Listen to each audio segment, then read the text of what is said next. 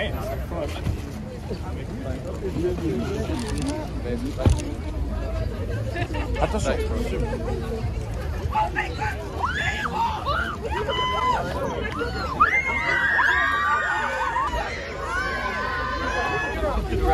bro.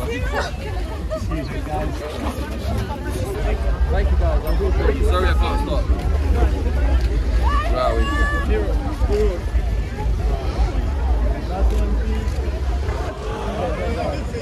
Frank.